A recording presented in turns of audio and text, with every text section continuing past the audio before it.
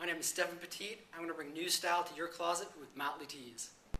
Hi, I'm Amanda Ross. Find out how to shake off the pounds with Shake It Skinny. Hi, I'm Ingrid Nuttall, and I'm going to transform your campsite into a unique trip of its own kind.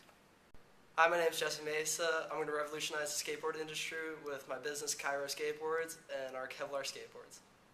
Wouldn't you love to never lay your hands on iron again? My name is Shanika Simpson, and I have the solution to your problem the Steam Box. Sick of MySpace and Facebook but still want to stay connected? My name is Matthew Berry, and Calendar.com can keep you connected just by using a daily calendar. Are you tired of spending too much money on your textbooks? My name's Anthony Daniel, and I'm going to tell you about Book It. That's going to save you a lot of money in your textbooks next semester. Hello, my name is Tyler Finn. My company is Technology for All, and our goal is to provide a fun, friendly environment to teach the elderly community technology. Hi, my name's Scott Hansen, and I can stop your basement from flooding. Hi, I'm Lindsay Stamps. I am the creator of In Interiors. I am a commercial interior designer, but I don't just design stores, I design experiences.